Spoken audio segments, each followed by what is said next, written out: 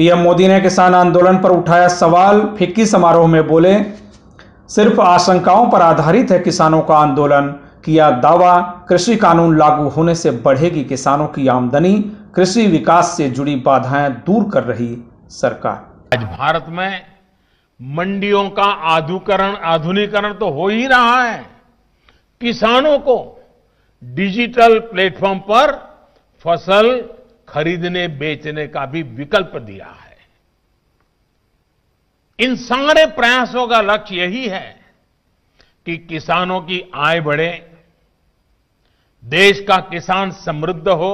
Latest update और खबरों के लिए टीवी वन इंडिया को सब्सक्राइब करें और नोटिफिकेशन पाने के लिए बेल आइकॉन को दबाना मत भूलें।